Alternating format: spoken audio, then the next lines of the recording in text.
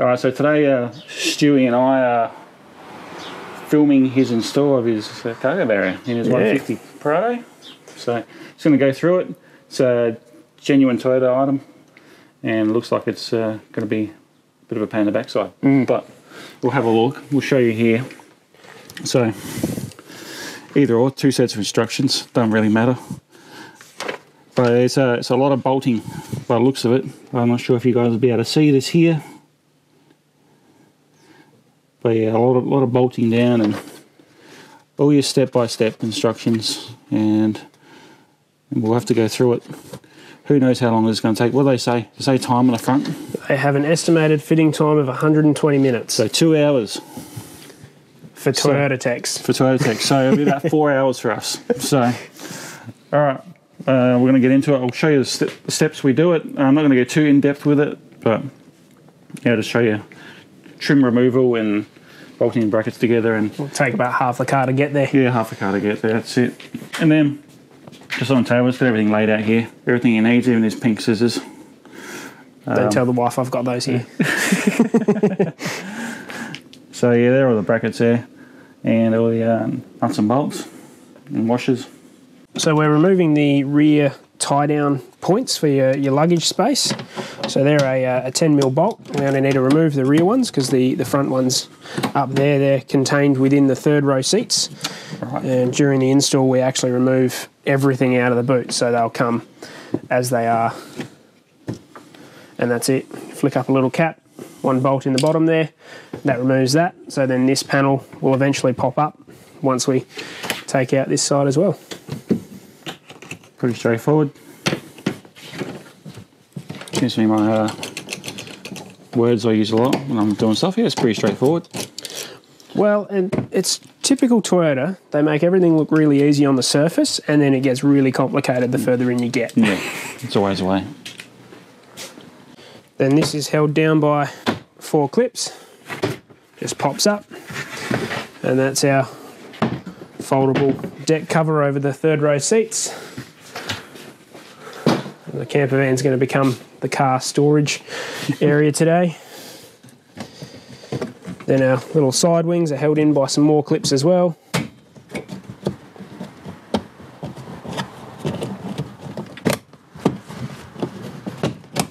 Isn't it nice when you're working with a newer car Oh, and nothing's brittle? nothing breaks when you take it out. yeah, and, and it just uh, it just comes out. Yeah, I've got a mate who's got a pretty good saying there. Uh, he's a he's a Nissan man, so every time I used to tell him about stuff happening with the 90, he just uh, he turn around and go, "Oh, what a feeling!" Like it's, it's just the Toyota thing.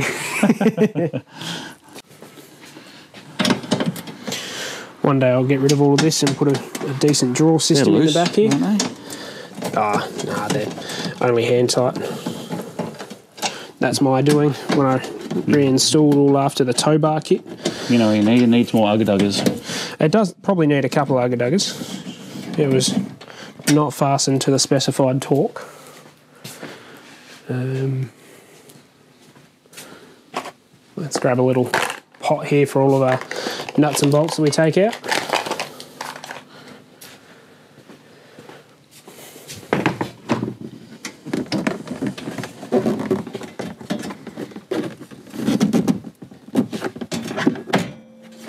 Little bit of force to pop these clips all across the bottom there. Got all that done. You might want to give this a vac. Oh, yes, we, this was spotless when I put it all back together after putting the tow bar kit Where'd you on. go? Where'd you go? Beach? Uh, it does look like it, doesn't it? I actually can't remember where we went. Bit of gore. No, we haven't. No. Uh, no, I did Robe to Beachport. Oh, that's right. what I did. And my brother still decided to that. throw I- his camp chair in the back and send the sand everywhere in the feet because, Yeah, yeah. yeah. it wasn't going in his car. All right, so we've popped our rear cover off. Now we're looking at the bolts that remove this plate here. They are up to 12s now.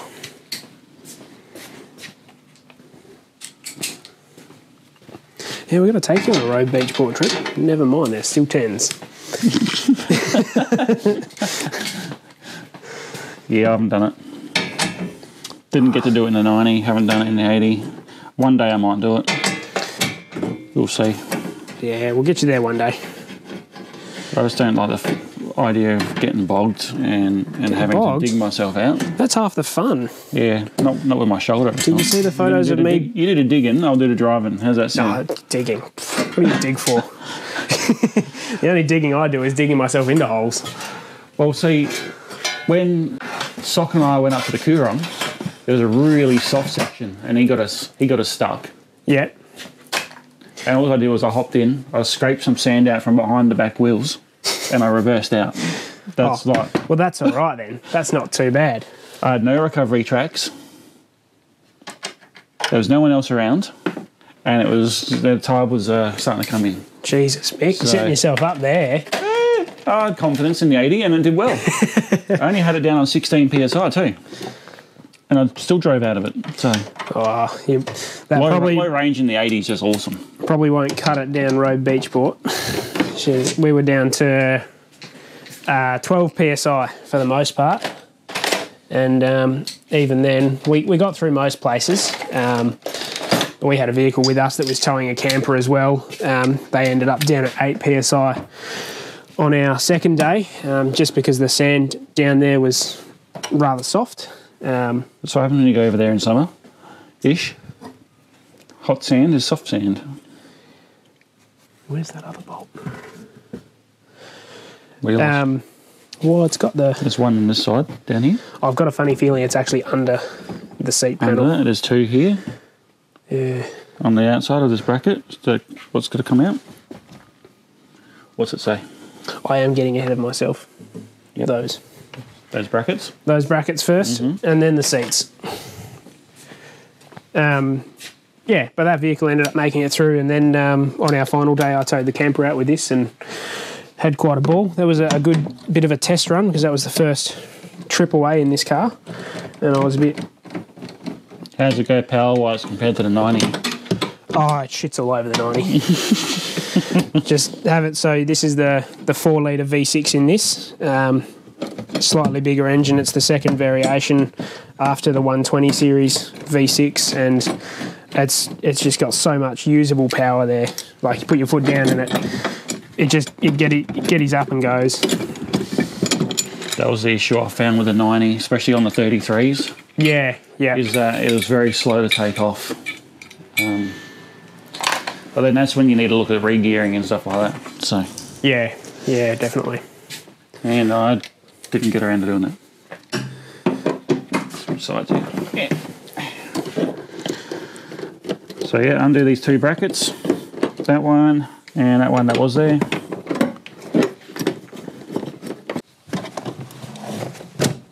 There is our other bolt. So the middle ones are really easy to access. They're straight down in the channel there.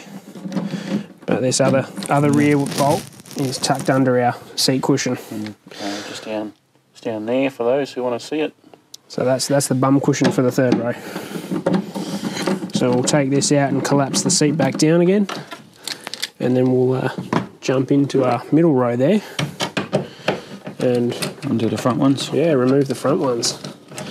They've done something a little bit different with the the third row of this car, in that they've actually got a um, pretty significant sort of Support them. yeah support running across the guts there. Um, 90 didn't. No, well, the 90 was really easy to put drawers into. It was just a flat based rear cargo area, whereas this thing's got lumps and humps everywhere you look and cables going everywhere. Like we've got the rear key proximity sensor here, and this thing is so. So who does the draw advanced. system for it? What are you looking at putting in it?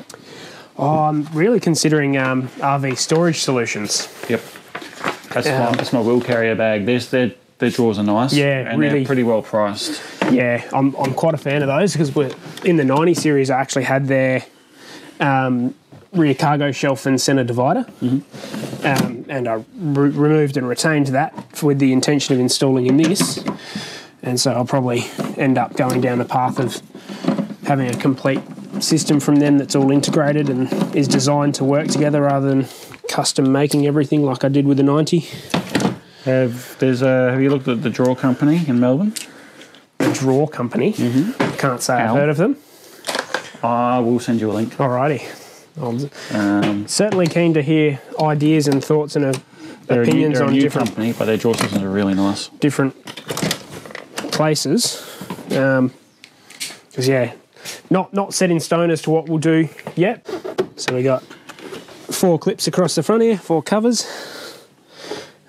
We'll just get here Trying to see my light's flat at the moment, but uh, once it's charged, Oh, that does stuff all, doesn't it? yeah, it's not going to do nothing. I'll give a little bit of light. LED interior lighting was one of the first things I changed on the car, and oh, I did that one tight. It made such a significant difference to like how much we could actually see inside the car at night, and yeah, I don't regret doing that at all. Bit of a shout out to my mate Bailey over at Repco.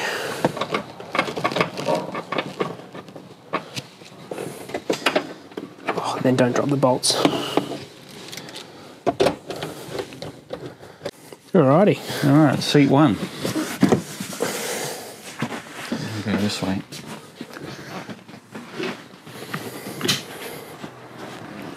There goes that thing.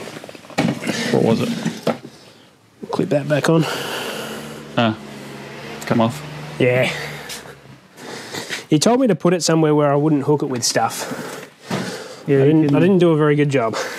Yeah, probably on your like belt. Right. So we'll be a bit more careful with the wiring under this side. Um, with the seats, the left one's got to come out first because there's an overlap trim on the bottom of the right one. Ah, okay. Yep. Cool. And we'll just lay these upside down on each other over here out of the way. It looks like she has seen a little bit of moisture in the back there at some point in time. Yeah. But when I hmm. first did this, it was like almost covered in a, That's not bad though. Grab a some black mouldy surface Like Grab some. WD forty. That'll clean up. Yeah, do it. If you do it now, while we're here, the way Here's- it's done. Here's a can I prepared earlier. bit of that and a, and a rag, and Oh, a rag I prepared earlier too. About the only, the last one I've actually got. just leave it sitting for a little bit, just to soak it up. But yeah, so that's that's that front ridge that I was Oh, yeah. talking about. That a lot of the draw manufacturers have to come up with a system of fixing to that mm-hmm. because there are there are no nut certs or welded nuts on the top line Yeah. or on the back there. They're only on the front where the seats actually fix into it. So No, it's not hard to do. everyone's sort of got to come up with their own solution for that. What I have been seeing is a lot of people run into issues with, um, like once they put their drawers in, they impact on the really popular K-on rear door shelf. Yep. So then they've got to come up with more solutions. But that's part of part of the game, isn't it? Yeah. You might want to wipe those outer ones, mate. Hey, The outer ones. oh, I think they're going to take a little bit longer. Not too bad overall, but It's only surface rust. It's probably more so um, just residue left over from the actual seat brackets because they're raw steel, Yeah. whereas all this is painted. The other option now is to get some like um, Pour 15 Oh yeah, or a um, anti-rust um, paint looking thing. Because this is another Toyota thing. Everything is interlaced, so these have got to come out. This little step trim cover here has got to come out in order for us to get this side panel off. So there we are, our two little bolts in there again. Oh, we'll get the vacuum cleaner into this as well later. Oh, that's not our bobby pin. That one's been there a while, hasn't it? Mm, yep. Yum. Look at there. No, I don't think I'm vaccinated for that.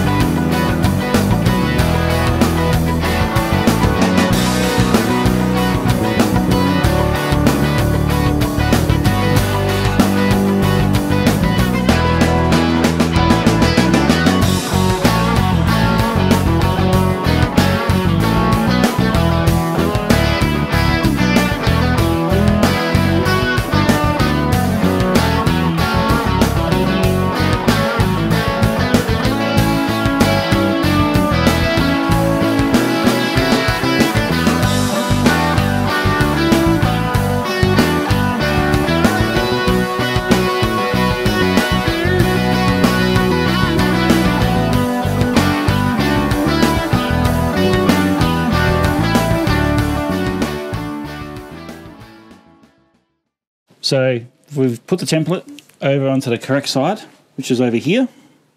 So behind the two uh, raised panel parts, and just use the hole punch or yeah, hole punch, Center punch. center punch.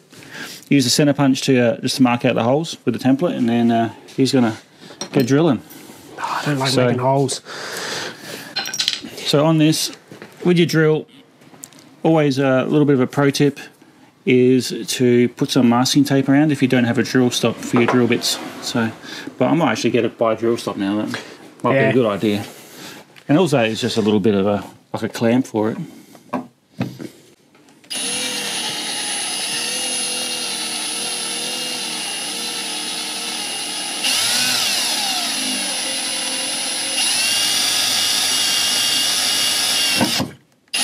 See what I mean? Well, the masking tape works. Beautiful. Went a bit deep though. Yeah, you're right. It's not 10 mil, No. only about 5.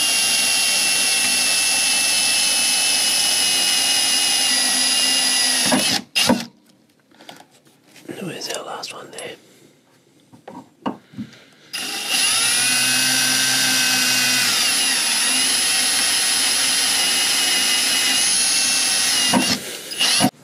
As easy as that. That way you're not going straight through and uh, all sorted. Not a problem. Now we'll make some bigger holes. So then we step it up to a 20 mil hole saw. Uh, so it says here, care must be taken not to penetrate any other panel as the stop cannot be used. But You will. we So- use masking tape for that. The trouble is, our centre bit is significantly longer than 10 mil. Yep, that's right. So what you do is you put your masking tape just by the teeth here. Yep. Yeah, but I don't know how deep that's going to go into anything. I can see daylight. That's ideal. It's only going to be the fuel tank. Yeah, it's all right. It's an extra, extra ventilation, mate. Stop me from getting those pesky air bubbles. That's right.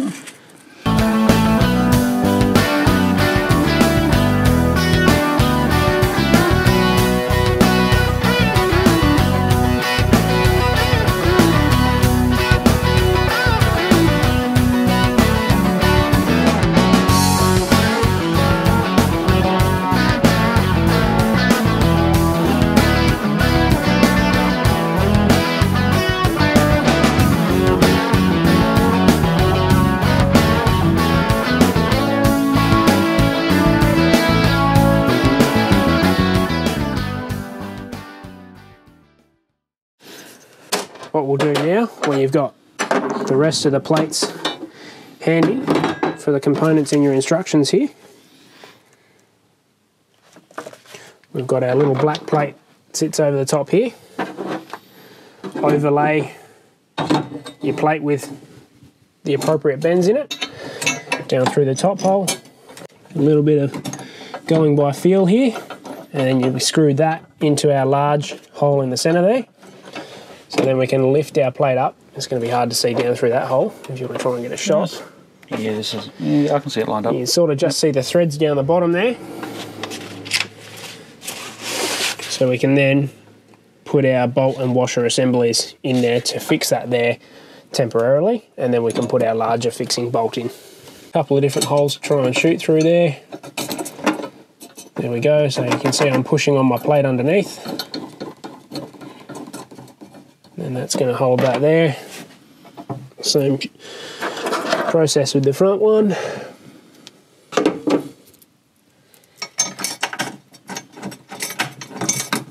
Down through our rubber grommet. It's got a nice grease seal around it. And there, finger tight. Got one bracket there.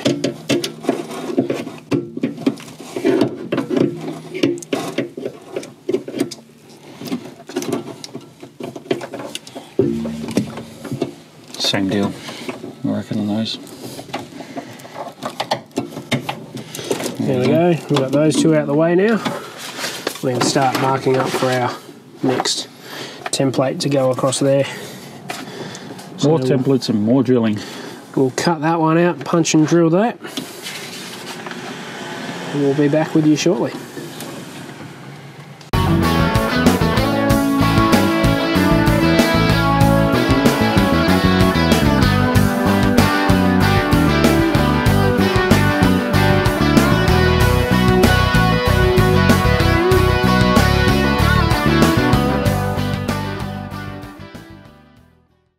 So pretty much that's all your bracketry done on this side. So up to there, there's another plate behind here to support this one to come out so I can bolt in at the front there. Um, need a few holes and things drilled and then uh, interior trim. You have hole drilled up the top for that one just below the window and this is the bolt hole for the one down lower. And that's it, that can go in now and then it'll just be the other side. So anything to say other than that? The estimated time frame is a lie. Is a lie, yeah. 120 minutes? No, no, it's not 120 minutes, not at all.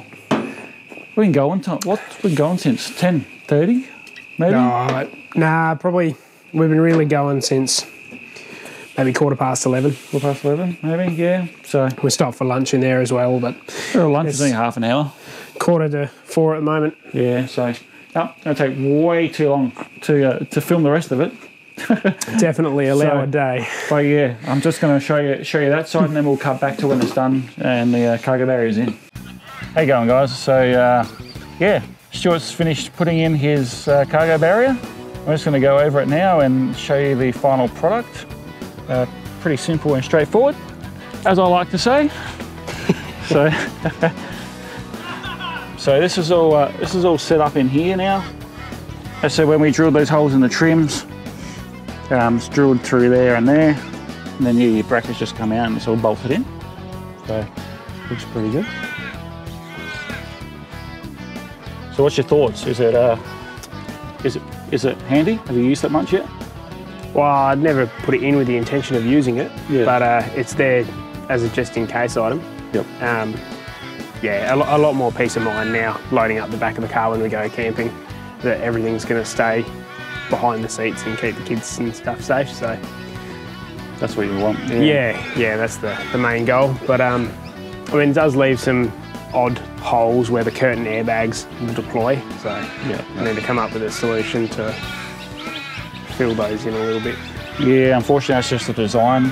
The design with the uh, genuine Toyota ones there. That it's got this big cutout just here. But I'm Yes. almost thinking like a little bit of the, the flexible rope cargo netting on a, a large elastic strap.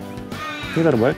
You could even go. something You could even probably go off the handles. Like Yeah. hook onto there and off the handles. Yeah, Just come across like that. And you just, just, you can just cut to one down. hold the, the small items like pillows and bags. Yep, yep. Something Even one of those like um, I reckon those trailer yeah, cargo yeah, nets. That'd be like, perfect. Just cut it down because they are individually hooked around the place. Yeah. You just cut one down to size. That'll be the go, I reckon. Yeah. Um, you want to chuck your cargo blind in so we can see that? Absolutely. So That is um, something that I quite like about the Toyota product is that it's still compatible with the rear cargo blind. So yeah, we're gonna chuck this in. This is a good thing, right? See, with the 90s, it's very hard to find a cargo blind if you can find one at all. So you need to just hook up one either side. Well, these ones still fit through there. Still fits through there. A little bit hard one-handed. Yeah, that's right. It's to either end, I guess. And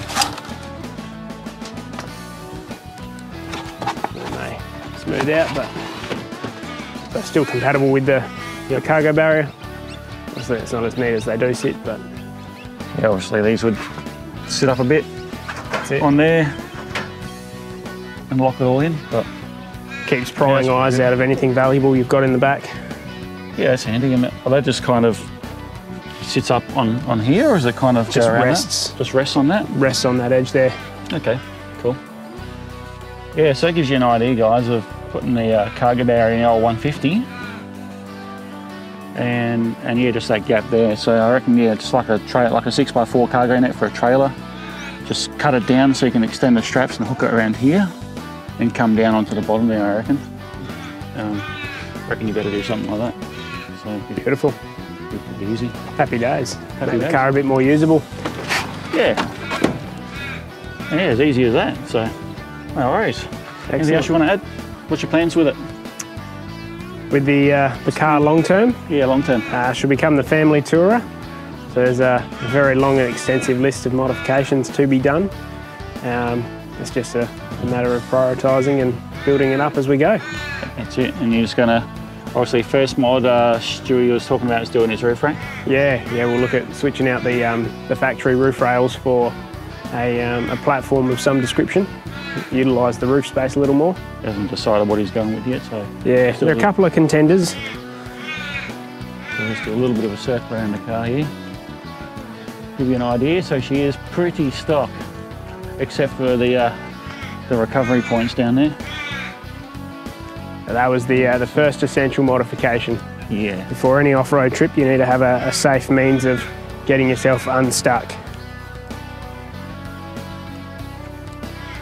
So it's a nice blank canvas to start with, and you're making your own, which is what you want to do. Or if you're like me, I'll buy it half done and then try and make it my own, which I guess is cheaper doing it that way. I said, I said the 90 was a... It is a nice 90 incentive 90 when it comes with a couple of mods. yeah. So easy as guys. All right, Excellent. Take it All. Toyota stuff is DIY. Just Yeah. uh, allow a lot longer. yeah. So we say triple the time. So it was an, an- Absolutely. so it was two hours. So we're going to say six if you're doing it by yourself. Yeah, So definitely. But no worries, guys. All right, have a good one, and we'll catch you in the next video.